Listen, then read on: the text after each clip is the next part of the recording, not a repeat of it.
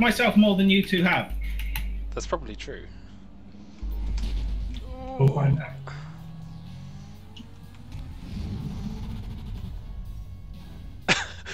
That's just worth it for the replay.